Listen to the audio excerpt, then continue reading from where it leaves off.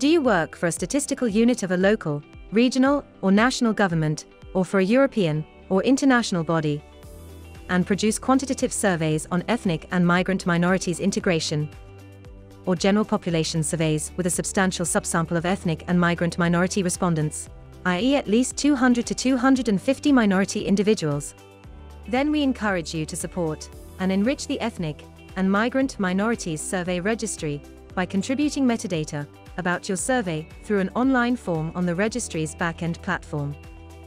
Please note that you will not be asked to add any microdata or survey findings. Instead, you will only share information about the technical and essential characteristics of the survey. And if you have already made the data available in a repository or archive, you will be able to provide links to those or to any reports or publications you wish to share with other users. In a nutshell, the Ethnic and Migrant Minorities Survey Registry is a free online database and tool for discovering and learning about existing quantitative surveys on the economic, social and political integration and inclusion of ethnic and migrant minorities, EMM for short, across Europe. For each survey captured by the Ethnic and Migrant Minorities Survey Registry, detailed information, which we call metadata, is provided. As users are able to contribute their own new metadata to the Ethnic and Migrant Minorities Survey Registry, the list of surveys captured is continuously growing, making the tool a living census of existing quantitative surveys undertaken with individuals of ethnic and or migrant origin. For instance, when version 1.0 of the registry was launched in December 2021, it was already displaying metadata for more than 1,700 surveys from 34 different countries. But the number of surveys has been growing ever since. Given that the Ethnic and Migrant Minorities Survey Registry not only covers a diverse and sizable number of surveys, but also offers rich metadata on a survey-by-survey basis, a range of stakeholders from different sectors, government units, academia, think tanks, non-governmental organizations, and government levels, local, regional, national, European, international, can leverage this database and tool to search for and learn about surveys that are of interest to them. The main contribution of the registry is making ethnic and migrant minority EMM surveys findable, accessible, interoperable, and reusable FAIR principles.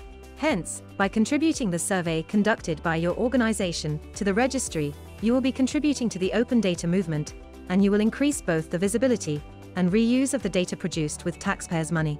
The registry has been designed as a user-friendly tool, and users can easily navigate the surveys and the corresponding metadata offered by the registry through a variety of user-friendly functionalities, such as both simple and advanced filtering, sorting and keyword search.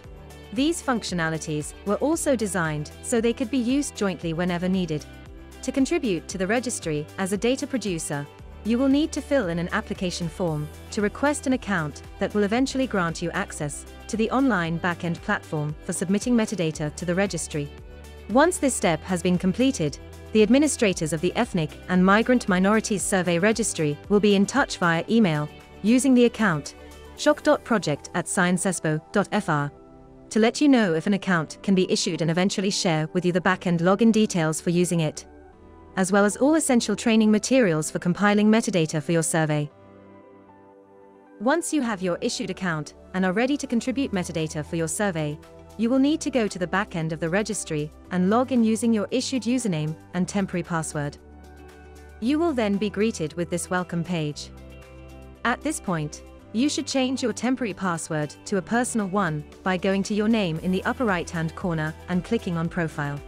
For a more detailed explanation of how to change your password, please consult video 1 of the video tutorial series, Backend Platform of the Ethnic and Migrant Minorities Survey Registry. For contributing metadata for your survey, click on Surveys, which can be found on the left-hand side of the Welcome page. You will then be directed to a new page, where all the surveys already captured by the registry are listed. On this page, you will find in the upper right-hand side the Create Survey button. You can access the blank online form for contributing metadata by clicking on this button. After you click on the Create Survey button, you'll be directed to a new page called Create Survey.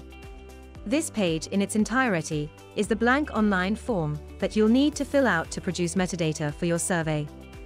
We will now briefly discuss how this online form should be used. More detailed guidance can be found in video 5 of the video tutorial series, Backend Platform of the Ethnic and Migrant Minorities Survey Registry. This form is set up so that you see the status of the record at the very top. Since this form is blank and you're filling it out for the first time, the status is auto-set to draft. Below the status information, you'll see that all the variables for which you need to fill out responses or metadata are found on the left-hand side. Please note that next to a number of variables, you'll see a small red asterisk. This is because such variables have been deemed essential, meaning that a response other than don't know, information, not available, or not applicable, should be provided whenever possible. Next to each variable, you're provided with a field, which you need to use to fill out your response. For each field, a short help text has been provided to remind you of how to fill it out correctly. As you'll also see, the form is quite extensive and comprehensive, in fact, there are more than 200 variables that are organized into 11 different sections. This means that you will need to reserve some time to properly and fully fill out the form. As the form does not autosave, it's imperative that you save your work at least after completing every section, or every 2 to 3 minutes. To save your work, you'll need to scroll to the very bottom of the form and click on this button. Whenever you are fully finished inputting metadata for your survey, save your work one last time, leaving the status as draft. Then take note of the unique ID issued for your survey. You will also need to confirm that your metadata is ready for review by emailing the registry administrators at sshoc.project at sciencespo.fr with the subject line, Record, Unique ID of your record, ready for review.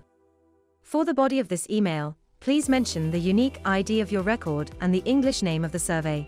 Please also specify that you have read the conditions of use of the Ethnic and Migrant Minorities Survey Registry and its metadata, and that you agree to have your contributed metadata attributed with the CC0 1.0 Universal, CC0 1.0, Public Domain Dedication License, accompanied by the following text. Our community norms as well as scientific best practices. Expect that proper credit is given via citation, Please cite both the Ethnic and Migrant Minorities Survey Registry and the data producers when reusing the metadata. After receiving your email, the registry administrators will work with you to review and validate the metadata for your survey, following an established, multi-step, and rigorous quality check process.